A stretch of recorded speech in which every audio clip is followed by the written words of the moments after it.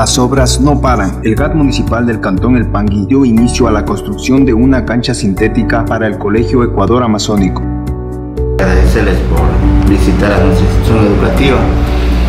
Luego pues dejarme agradecimiento sincero al ingeniero Jaime Herrera, alcalde de nuestro cantón, quien ha sido el pilar fundamental para que esta excelente obra se dé en nuestra institución educativa, como es la construcción de una cancha sintética la misma que da en beneficio de 700 jóvenes que se educan en nuestra, en nuestra institución educativa. De acuerdo al informe técnico de los ingenieros que en unos 45 días la cancha estará totalmente habilitada para que al regreso los jóvenes de sus vacaciones puedan practicar el deporte conjuntamente con toda la comunidad educativa, docentes, padres de familia y de esta forma pues poder seguir incentivando. El objetivo de esta obra, gestionada por nuestras autoridades, es incentivar a que nuestra juventud se aparte de los malos vicios o cualquier cosa negativa y puedan emprender actividades deportivas con la construcción de esta nueva cancha sintética.